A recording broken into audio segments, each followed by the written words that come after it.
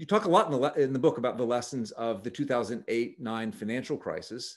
Um, I want to think about what that kind of what we can learn from that to, to think about responding to COVID. I think it, it, my read on the book was, in a nutshell, what you think we should have learned from the 8-9 crisis was it's hard to do too much, hard to overdo it when you're trying to rescue an economy from a crisis or a recession. Um, so I guess my, my question is, is that approximately the right, uh, the right lesson to take away from that crisis? And how are we doing in terms of applying the lessons we should have learned from that crisis to coming out of the current crisis?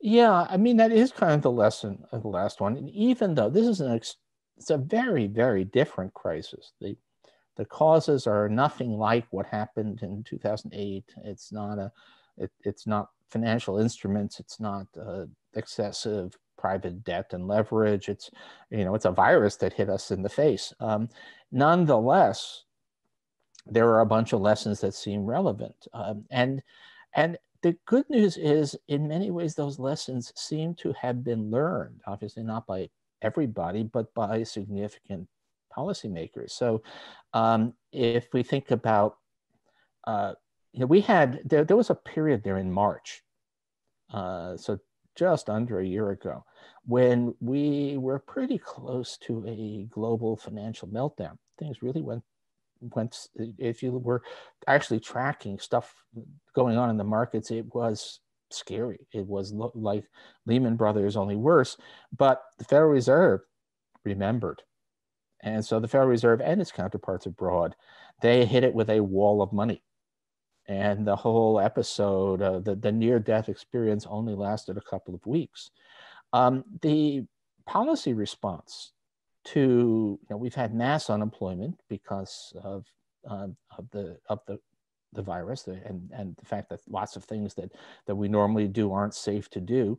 Um, the policy response has been had holes in it. Obviously, we learned a lot about things that that that we can't do well, and we learned a lot about adversarial politics. If you didn't know that already, but on the whole, relative to what I would have expected uh, we did far better everywhere really but uh, certainly the united states did far better in terms of actually taking care of people in need short circuiting what could have been a depression on top of the pandemic.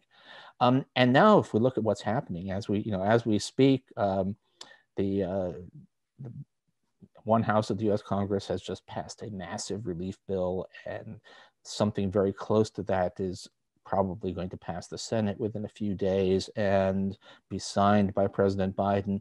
And that is both both the content of it is dictated a lot by what we've learned about economics since the last crisis, but also about what we've learned about politics. In, in 2009, Barack Obama and his team thought that if the program proved inadequate, they would be able to come back for more and they have learned that that's not how it works. That if they uh, they have to hit it with overwhelming success, they might be able to come back for other things if the first phase is clearly successful. But they've learned, you know, they've learned to be appropriately cynical about the politics and also uh, to understand that the risks of underachieving economically are much greater than the risks of overdoing it.